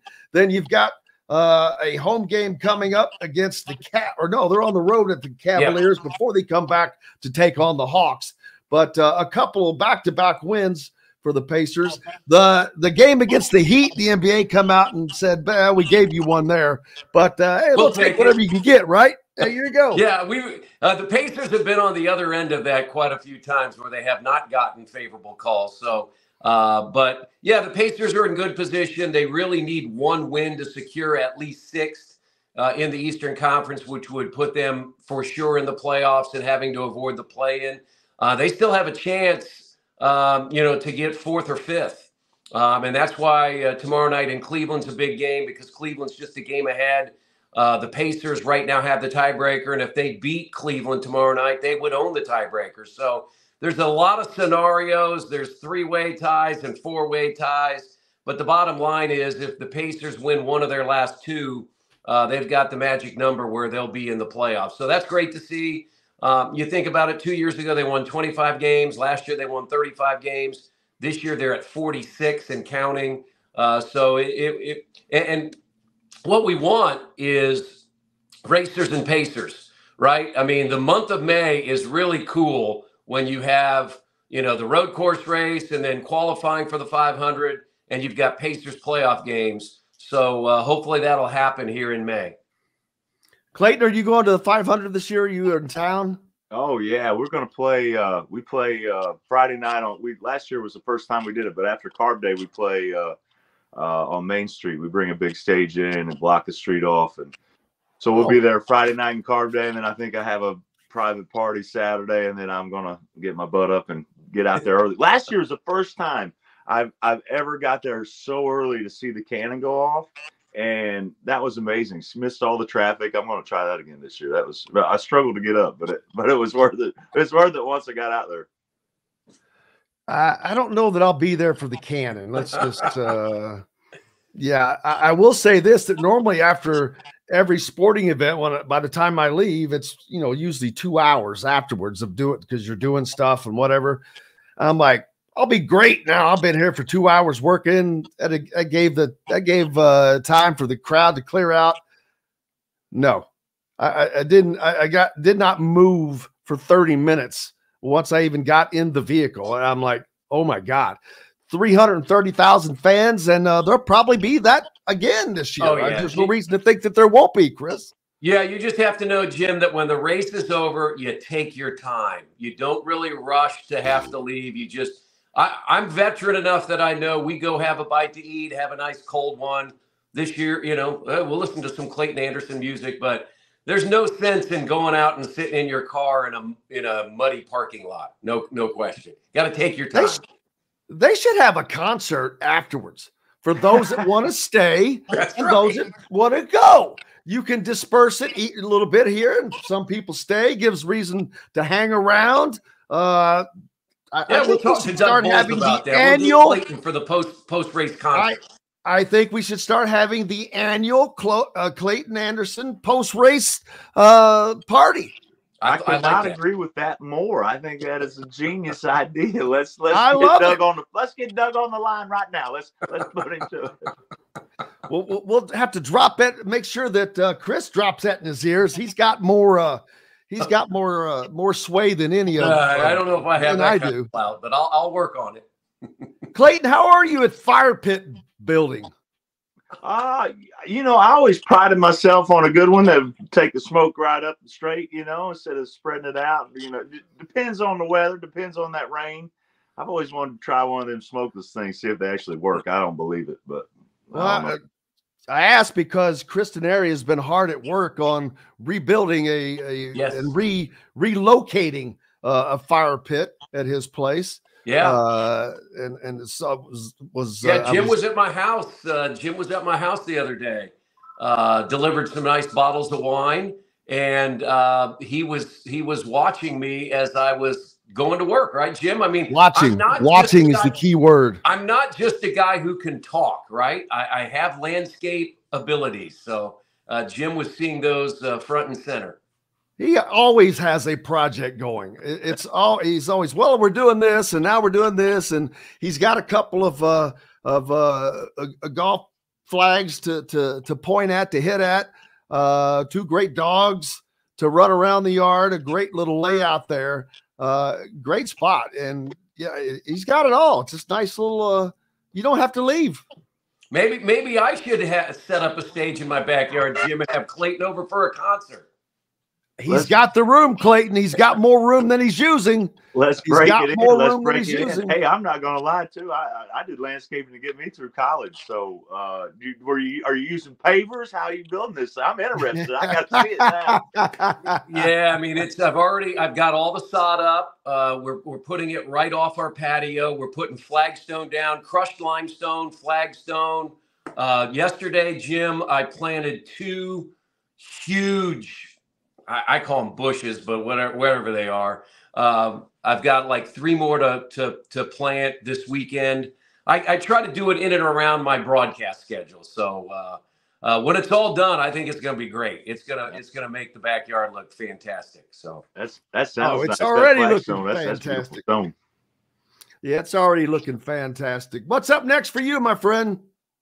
Uh, well, off to Cleveland at three o'clock today. Uh, Cavaliers tomorrow night. Then we fly back, and then uh, the final regular season home game is Sunday at one o'clock against Atlanta. And hopefully, after tomorrow night, we know that the Pacers are firmly in the playoffs, and then it would be uh, a week off until the playoffs start. And uh, on Bally Sports, we will do the first round games, so uh, that's great. If the Pacers happen to fall into the play-in tournament, we do not do those. Uh, those are ESPN and TNT only. But uh, uh, two games left, and then uh, hopefully plenty more in the playoffs.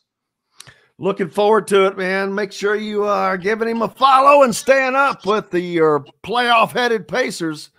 Appreciate you, my friend. All right, thanks, guys. Great. Let's go see you, Clayton. Pacers. All right, see you, Clayton. Chris Denari joining us here on Indiana Sports Beat Radio. We've got more with Clayton Anderson, country music superstar, Decor- uh, Nashville recording artist, when we come back right after this. We'll be right back for more Indiana Sports Beat Radio with Jim Coyle, presented by Andy Mohr Honda of Bloomington. In the Hey, I'm playing it. Do you hear it? Or be careful though. We don't want to get flagged if it comes through enough. Uh, I'm just there should- saying. it- I thought that there was like so long as you, you can play X amount of seconds. I don't. we're- I don't know. I, I don't YouTube know. changes their their bylaws or whatever every so often, and it's it's never Bylaws. definitive. I feel like Bylaws, I can send you. I can send you a thing. Like there is a way that you got that you can do it. You have to sign up. but It's almost like creating a different account. But honestly, it becomes it's not. I don't know if it's worth it. Then You you, know could what? then you could play anything. You could play absolutely anything you wanted. You could play anyone's music. huh? Well, I, I'd love to find one of them that we would use as the uh, show intro that we were allowed to play that without getting dinged every damn day. Well, I can make you one of those. That's easy. What is the maximum? Chris, have you ever got to go up to the dang? Have you got to go to the? Have you ever been to the Hall of Fame, the Music Hall, Rock and Roll Hall of Fame up there in Cleveland? I Have you have, up there? you know, I have not. That's one of the things I, I need to do on one of my trips to Cleveland. Yeah, I never have been oh, either. I've always wanted to go, but my my parents went last year. They said it's pretty awesome. But Pretty cool. Yeah. Yeah. All right, guys. Great to see you, Clayton. Yeah, good to see you too. I love Okay. been loving watching the season. It's been so Yeah. cool as a fan to see all the excitement. Oh, yeah. the stadium filled up all the time. It's really cool. Yeah, it's been really cool. All right, guys. See you. Thank you, brother. I appreciate you. All right. Bye. Well, there is no safe. Um, there is no time thing. I think there used to be. What you were saying used to be true, Yep. but Yeah, always it's, make it it's stricter. it stinks. Pat, I mean, I really pissed McAfee off. I mean, he won't even have me back on anymore. But it, it, it. uh I was like, I don't know what to tell you. I didn't, I didn't, I didn't know that happened. I didn't know they, at the time that I mean, that was freaking four years ago. I didn't know yes, that was. you're not a yeah, you're not a and- and you're not doing this stuff every day. How the hell would you know? Yeah, well, I, well, I didn't, I didn't because I, I'm tr- I'm trying to help you out here, man. I'm trying to help you out. the uh the dang the dang thing is like when we upload our songs it's it's there's a it's an algorithm there's a computer out there that just flags it it's just it's it's silly All right, here we go, Yes, guys. Ten You seconds. can, Russell. Enjoy it cooked to perfection in Chop Shop Steakhouse. Chop Shop Market and Table, a part of the Wild Food Group, is your butcher, baker, and fish house, no matter where you live. This segment is brought to you by Bubba's 33 in Clarksville and Evansville. Pizza, burgers, beer. Welcome back to Indiana Sports Beat Radio with Jim Coyle, presented by Andy Mohr Honda of Bloomington. Welcome back. Unfortunately, we're not playing the music of Clayton Anderson. Uh, we wish we were, but uh, we don't want to get dinged on uh, playing copyrighted music, even though we have the author with us. But you can find Clayton's music at everywhere just google clayton anderson and uh it'll be me and the astronaut and i'm not the astronaut i've got Do you have a specific site though? A lot of guys have, hey, go to uh you know ClaytonAndersonMusic.com or whatever. Yeah, I have a I have a website, ClaytonAndersonOfficial.com that's got our tour dates and, and links to music. But I mean, everyone, you got to be everywhere. So Spotify, I mean, the cool, I mean, everything's on YouTube, so you can you can uh, listen to YouTube for free um, if you don't have Spotify or Apple Music. Uh, We don't we, we want people buying your music, brother. We're not trying to push the free stuff here. it pays. It pays. The the the the thing is shifted. It's it's you don't. I mean, if you if you're like one of the big artists that are streaming, well, even even these guys make deals with the labels. So so uh, Spotify, Amazon, Apple Music, they go to these labels and say, okay, we're going to cut you a check for X amount of money, and then they can stream as much as they're. That's why it's hard for independent people to get more streaming and get up on bigger playlists because uh, the they've already paid the labels, so they can play a label artist as much as they want and uh, not have to pay. But it's the, the money's in touring, the money's in ticket sales, so that's why we hope a lot of people come out this Saturday and see us at Memorial Stadium. And speaking of Saturday night, that is the kicking off of the full ride tour happens at Memorial Stadium in Bloomington. Uh, you can get tickets for less than $20. And I'm not kidding. I was at Taco Bell a couple of nights ago and I spent more than that in the drive through at Taco Bell. It, Uh, it's a, that's a heck of a deal. Uh, it, it, you're getting, we're talking, first of all, we're talking Clayton Anderson. That, that's, that's, you've already, so your ticket's already paid for. You've already paid for itself. But we're going to throw in a couple of, uh, uh, you, you may have heard of them. Uh, Kane Brown is uh, headlining the tour. Jon Pardi and uh, Jessie Murph. I'm not familiar with Jessie Murph. Is he kind of new? She she's uh she's pretty. Gee, good. see, I told you I wasn't familiar.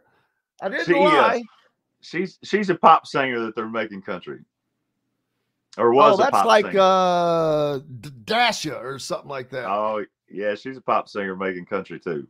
It's it's country's popular thing to be in right now. It's uh it's really uh it's really pretty incredible, Uh, and I think it's great. More more than welcome. I I don't care who comes and sings it. It's it's better. It's great for the the more they can expand it and and and uh, get more followers, the better it is for country music. Yeah, you have these people like me, the the the hardliners, which you know, your music sounds like country music to me. Yeah. My kind of country music, what I'm used to. And I was not a fan, and I don't mean it to be negative because they have a lot of fans. But when Georgia Florida Line was those kind of guys, I'm like, yeah, it's a little too much sugar for me, boys. Uh, but it's it all works when the biggest I, I remember hearing uh, hardcore country singers talk about one of the biggest things to ever happen to country music was Ray Charles doing a country music album and what that did for the genre, the audience it opened it up to, the how it showed that hey man, these songs are universal. And but you know, Ray Charles could sing the phone book and make it sound badass. he sure he sure could. It truly is. I mean, country music's just about a great story. It's the the lyric that that really gets me, and you can put any instrument over it. You know, I mean, the Dixie Chicks were kind of wild. They brought back a banjo. The banjo hadn't even been in country music for a while, and it, it, was ebbs funny. Every, until they said until they said one sentence. What's that? One sentence brought it all down for him, though. Oh boy, did it ever! That's I mean- they were the biggest band in the world. That's it- uh, how that is nuts. I, I'm like, you know what? Uh, People do things that piss me off all the time. I don't get that. I don't go that overboard. You talk about a near career ending kind of a deal. That's it. It it was close to that. Yeah, you can you can throw chairs off buildings in Nashville, try to kill people, and you can do everything else. But by golly, you deck, you, you you put the president down, you are. That was a crazy time in American history, though. You know, I mean, Yeah. 9/11 had just happened. Everybody's very patriotic. I mean, we were a lot more, we were a lot more together then than we are. You know, everyone's not to talk politics, but we're just a little more separated now. But it, it is crazy. It, it is crazy how, and they've never recovered from it. But I think that that lead singer, she's one heck of a lead singer, but she has a hard time Oh. keeping her mouth shut. well, and that's and that that hurts you. It really does. And there are people that that uh, think that they that the platform they have that they should use for other things. Mhm. And I'm not opposed to anybody having an opinion about anything, but I disagree. I'm like, you know, wait a minute. This is not your lane. And if you're not an expert in that, shut up because you're going to falsely put upon people who look up to you and think you might know something that you don't. Mhm. Yeah, I think that's the way with the whole internet world right now. It's like maybe you should educate yourself before you start spewing off something that your friend sent you that's probably not even true anyway. So educate yourself. Find the fact of it. You know, it's it's it's so. Uh, there, there's a lot of there's a lot of false things out there so it's you should you should definitely educate that's what i like to sometimes people are like oh why don't you say something about this i was like because i don't know anything about it i'm sure there's i'm sure there's five other things that you read behind the headline that are that really make it cool or make it make a difference on how you feel about it. But that's and and you can't and you get it's yeah I don't know. Country music fans are they're loyal. They they love our country. You and and I do too. You know, it's like it's I get frustrated with it all. Well, let's get back to the fun stuff. Uh, the the concert, which is very cool. Again, this has not happened in, in, since in almost forty years, thirty eight yeah. years there's only been one to my knowledge, and it was Mellencamp. I don't think there was another before that. I because that was the first. I remember it being the first stadium concert, yeah. and I'm shocked, and I don't understand why there has not been anything in between. You got a campus full of kids, first of all. Gee whiz. Then yeah. you've got a town, and then everything that surrounds Bloomington, whether it's Bedford or these other Owen County or wherever. I think there's a lot of country music fans out there. Yeah, it's it's it shocked me too. I'm I'm so happy they did it. I'm so happy to be a part of it. Um, I mean, uh, I mean, I got my love on for Indiana right here. You know, I mean, I look at him go. Day. So it, uh, yeah, I don't know why they haven't. Ohio State's been doing it the last three years. I mean, they've they've sold out that stadium for big concerts. So and that's uh, twice the size of Indiana's. Yeah. So so I'm fired up. I think the kids, you know, they've really when I was a student there, we all griped, said, "Oh, they don't give us anything to do." So now there's something to do, and and even my town of Bedford, you know, they always gripe there's nothing to do either. And you give them something to do, then they they still maybe they will show up, maybe they won't. But we're hoping everybody comes out, and they've done it such a nice way. And they talked about this. They want to give everybody an opportunity to come, and doing it in a larger venue allows you to have a ticket price that maybe it's in the top row and in the back, but everyone can uh, you know you can afford to come come see the show and that's that's what i really love because i i hate doing shows where you gotta they jam the ticket price up so much you can't you can't even show up without mortgage in your home. Uh, well i can tell you this and, and i know this is not a complete fair comparison but uh, you're not far off of it but i remember when i was in college of course this is back around the time that we talked about mellencamp uh, doing that show but this was um, a couple of years after that, the Rolling Stones were in Louisville playing at the old Cardinal Stadium there, which is was the one that faced the interstate. Uh, old junky stadium, but the Rolling Stones were playing there. Tickets were forty dollars. Wow! And that that's probably eighty to ninety to a hundred dollars in today's money. Mm-hmm. Uh, we're talking nineteen dollars and fifty cents for how long has Jon Pardi been around? No, he's been around, for a minute. He's been around as long as I have. We came out. We I was in Nashville. I met him in 2012 when I first moved down there. I think he dropped his first record in 13. Uh, he's great. I I, I yeah. played so many shows. We played shows from Cincinnati to Chicago to everywhere. I played so many shows. I probably played more shows with him than I have anybody. And what's really cool about this though is is is I played shows with him when uh, we played in Fort Wayne one time, and I had more people show up to see me than they did him, and I felt really bad. And uh, I bet you did. I, well, I, I really kind of did. I mean, that stinks. That is not a fun feeling. I've I've been on the end where no one shows up to see you, and it's like, oh my gosh. Um, I mean, I played to two people in Atlanta, Georgia, one time. I about died. So it uh, it's it's a and it happens to everybody. It happens to Eric Church. He, I remember a story that he personally told to me and the club owner that he played to 14 people in, in Chicago, in Chicago, Joe's Bar, and uh, and so it it's been really see to see his progress and see his success to be able to uh, as big as he is now, which is pretty cool and makes me envious that I wasn't in that country music machine too. So getting pushed is hard, but it's uh oh it's a uh, it's pretty cool to see it. Well, you, you get a general admission ticket, like I said, for less than $20, but they also have other packages. The Hoosier Experience, it's sold out, baby.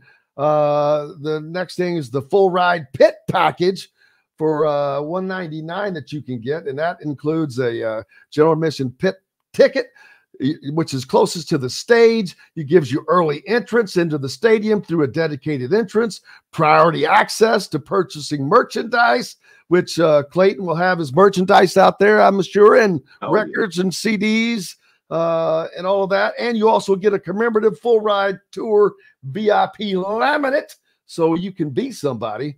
Uh, also, the Triton Lounge experience, which gives you premium reserve seating, dedicated entrance as well, access to the VIP lounge, and a dedicated cash bar and a commemorative uh, laminate as well, including uh, exclusive merch, one exclusive merch item that you get, and premium parking. So, uh, man, you got to, there's a lot of ways you can go about it. Yeah. Uh, so it, it's just going to be a great, great deal. I'm looking forward to it. I can't wait. I'll be out there. I cannot wait.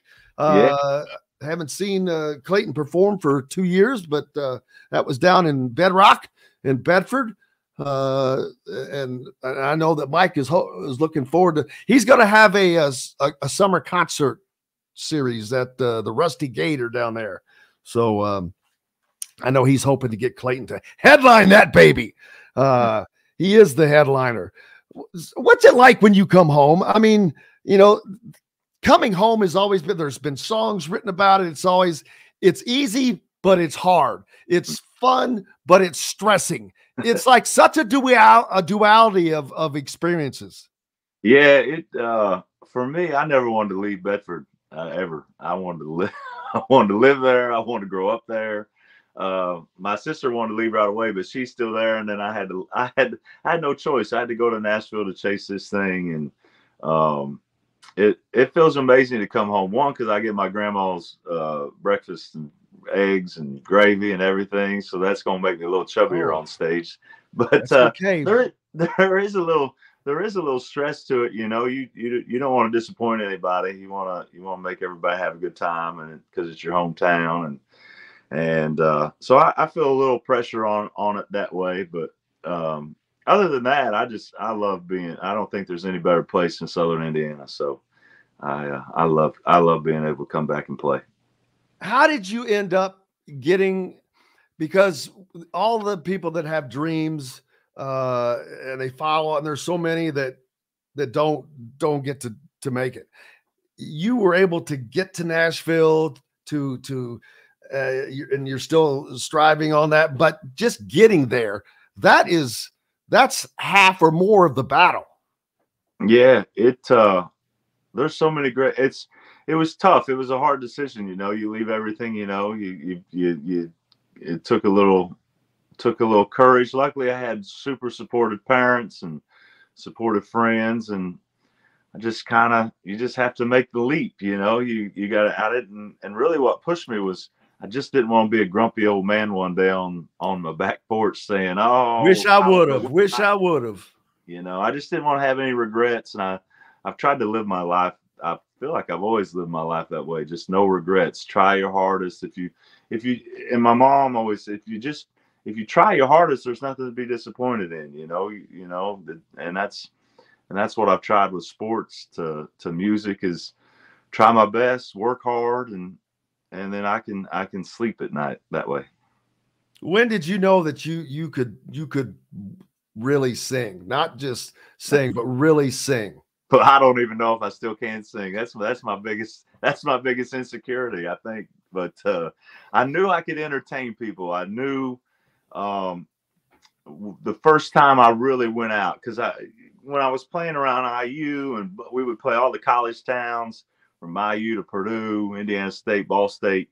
But when I went out to play and we were playing in Athens, Georgia, and I was like, wow, I'm going to really figure out if I can if these people really like me or if it was just because they were my friends or something. So we played we played one show there and we started getting calls from all the college towns in the SEC and ACC and I was like, "Hey, I think I think we got something." And uh, so that really inspired me. We started playing college towns all over the country and then it led me into Nashville and and uh, the rest is history, I guess.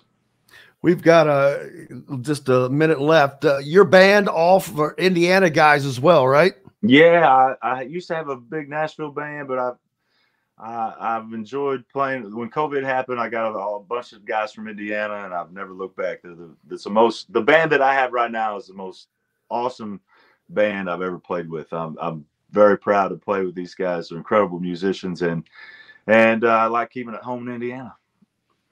Just go to fullridetour.com for your tickets uh, of different different levels to get that. That happens Saturday night, April 13th at Indiana's Memorial Stadium. Cannot wait. Man, I cannot thank you enough. As always, Clayton Anderson for coming on. You're always a blast, always a blast to be around. And I can't wait to see you on Saturday. Uh, I appreciate it. Thank you for having me. It's good good seeing you at the state finals game and uh, basketball game. And then uh, we hit the stage at 5:30, by the way. So don't be out there pre-partying in the parking lot too long. We we go on early. I did notice that. I'm like, boy, well, you know, you've got four different people, so you got to get through all that. And I did see a picture of Jessie, and he is no girl. I mean, he is no boy. I can tell you that. Uh, that's for sure. Big thanks to uh, Shannon Griffith, Tyler Smith, and Chris Denari as well. And uh, John for keeping us between the white lines. Most importantly, thanks to each and every one of you. We're back to do this again tomorrow. Until then, I'm Jim Coyle. I will see you on the radio. Thanks for listening to Indiana Sports Beat Radio. Be sure to subscribe to our YouTube page for more clips and team coverage of Indiana basketball, football, and more.